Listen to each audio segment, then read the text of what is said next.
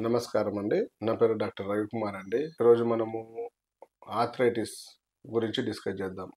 Arthritis అంటే మనకు నొప్పులు నొప్పులు అంటే మన రెండు ఎముకలు కలిసే భాగాన్ని కీళ్ళు అంటాం. ఆ కీళ్ళలో వచ్చే వాపును ఆ ఇన్ఫెక్షన్ని మనం ఆథరైటిస్ అంటాం. ఈ ఆథరైటిస్ అనేది మనకు ఎన్ని రకాలు? అంటే ఆస్టియో ఆథరైటిస్ అంటే పెద్ద పెద్ద జాయింట్స్ మోకాళ్ళు హిప్ జాయింట్ ఎల్బో జాయింట్ ఈ వ్రిస్ట్ జాయింట్ ఇవన్నీ ఎఫెక్ట్ అయితే వాళ్ళలో ఉన్న గుజ్జు మొఖాల మధ్యలో ఉన్న గుజ్జు మృదులాస్తే అంటాం కాట్లేజ్ ఆ కాట్లేజ్ అని అరిగిపోతే ఆ ఎముకల ఎముక రెండు ఎముకల మధ్యలో గుజ్జు అరిగిపోయినప్పుడు ఆ ఎముకలకు ర్యాపిడ్ గురైపోయి అరిగిపోతాయి.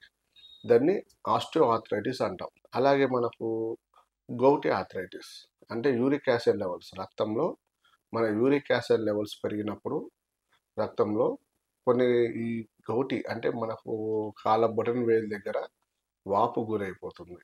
వాపు వచ్చేసి విపరీతమైన నొప్పి మంట ఎక్కువగా ఉంటుంది. అంటే మనం నడవలేము మనం కూర్చోలేము ఎక్కువ దూరం నడిచేసరికి మంటలు నొప్పులు ఒళ్ళంత నొప్పులు కాళ్ళ నొప్పులు ఎక్కువగా ఉంటాయి.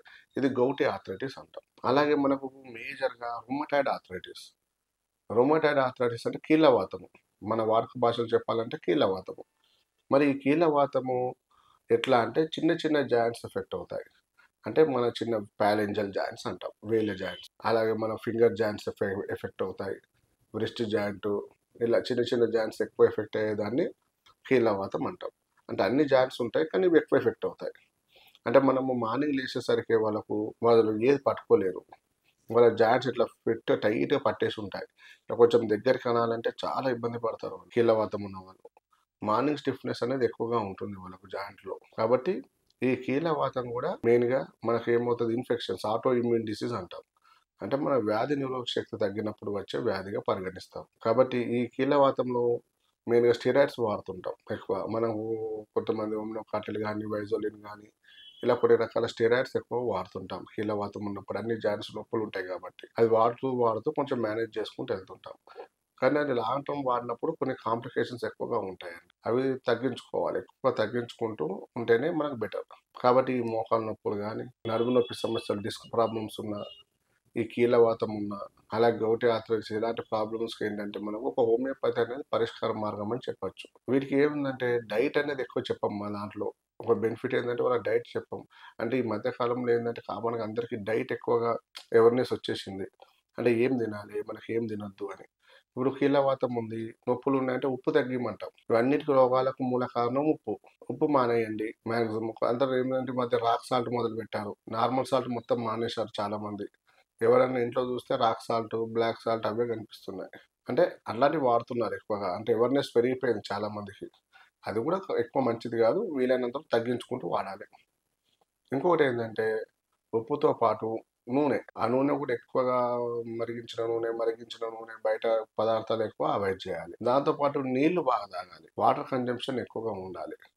ఇది ఇలాంటి కొంచెం లైఫ్ స్టైల్ మెయింటైన్ చేసుకుంటే సరిపోతుందండి ఆథరైటిస్కి వీటికి విపరీతమైన పత్తం మరి వేరే పత్తం ఏమి ఉండదు. ఇప్పుడు కీళ్ళ నొప్పులు వచ్చినాయంటే మేము ఒకటే చెప్పేది ఏంటంటే నా పేషెంట్స్కి ఉప్పు తగ్గియమ్మా సరిపోతుంది ఉప్పు మానేసి మొత్తం చప్పగా తిను ఏదున్నా చప్పగా తిను కొన్ని రోజులు ఒక వారం పది రోజులు చప్పగా తిను అని చెప్తాను.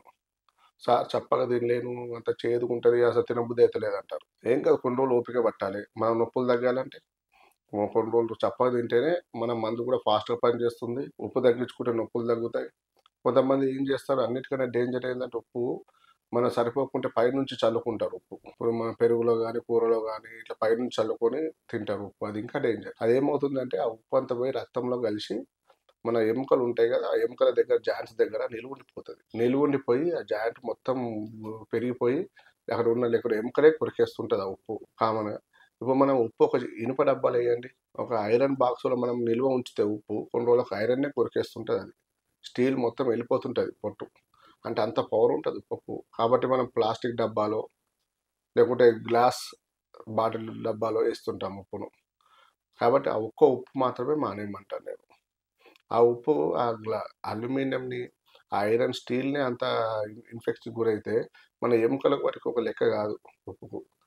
ఎముకలను తీయడం చాలా ఈజీ ఉప్పు. కాబట్టి ఆ ఉప్పు ఒకటి అవాయిడ్ చేయండి. రెగ్యులర్గా మన హోమియోపతి సపోర్ట్ తీసుకోండి మీరు. ఈ కీళ్ళ వాతం తగ్గుతుంది. అలాగే మోకాల లోపల గుజ్జు పెరగచ్చు మనం. ఆ మోకాళ్ళ మధ్యలో గుజ్జు రావడానికి మంచి మెడిసిన్స్ ఉంటాయి. యాక్చువల్గా ఇంగ్లీష్లో ఉండవు. గుజ్జు పెరగడానికి మందులు ఉండవు. కొంతమంది ఇంజెక్షన్స్ ఇస్తుంటారు. ఆ ఇంజెక్షన్ వల్ల గుజ్జు పెరుగుతుంది అంటారు కానీ గుజ్జు పెరగదు. ఆ స్టిరాయిడ్ ఇంజెక్షన్స్ ఉంటాయి దానివల్ల నొప్పి తగ్గుతుంది మనకు. కొంచెం కొన్ని నెలలు నొప్పి తగ్గుతుంది. అంతే తప్ప గుజ్జు పెరగదండి. మన హోమియోపతిలో ఏంటంటే కొంచెం లైట్గా స్టార్ట్ అవుతుంది. ఒక లేయర్ అనేది పెరిగినా కూడా మనకు ఫ్రీగా ఉంటుంది. ఇట్లా టైట్గా ఉన్న జాయింట్ కొంచెం ఫ్రీగా ఉంటుంది కాబట్టి మోకాల నొప్పులు ఉండవు. వాళ్ళకి ఆపరేషన్ వరకు వెళ్ళకుండా వాళ్ళ పని వాళ్ళు చేసుకునే విధంగా అంటే కొంచెం వాళ్ళు నడిచి వాళ్ళు తిరగగలిగి కొంచెం తినగలిగి బాత్రూమ్కి వెళ్ళి రావడము అలా ఆ రకంగా చేసుకునే విధంగా మనం ట్రీట్మెంట్ ఇవ్వచ్చు వాళ్ళు యాక్టివ్ ఉండేలాగా మనం మెడిసిన్స్ ఇవ్వచ్చు. కానీ ఎక్కువ మటుకైతే ఈ ఇంగ్లీష్ మెడిసిన్స్ ఎంత తగ్గించుకుంటే అంత మంచిదండి. నమస్కారం.